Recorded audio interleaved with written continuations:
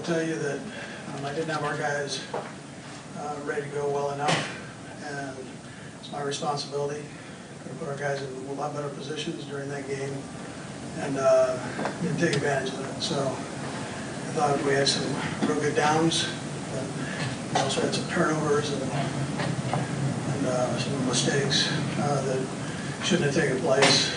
And um, we'll correct those, and get ourselves back ready to go.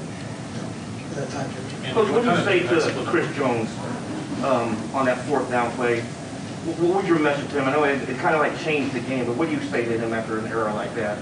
Yeah. Uh, Well, I didn't, I didn't see any pushing or shoving. I'm not exactly sure. Um, You know, there were two guys talking to each other. I know that. It seemed like um, Chris got called on that, so uh, I guess the best advice would be don't talk.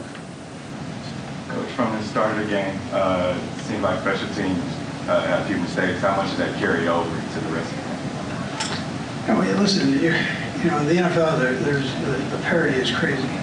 So any mistakes get magnified, and that's just how it goes. And so we gotta clean that up. We gotta clean it up, and and we'll get that taken care of.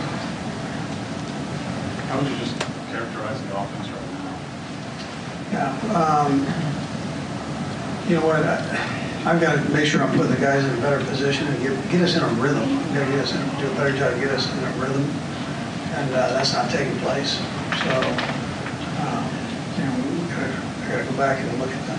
And yet, as you guys are getting ready to go into the locker room for halftime, it appeared that Patrick and B didn't agree on decision. I don't know if it was whether to go for a Hail Mary. Obviously, you had to sort of separate the two. Can you just No, give us your don't- vantage yeah, point on there wasn't, I, I, I'm sure that's how it looked, but it- there really wasn't, like I said, he wanted to go for it, obviously. Like for a Hail Mary specifically? No, or- not a Hail Mary, something else that we have mind with.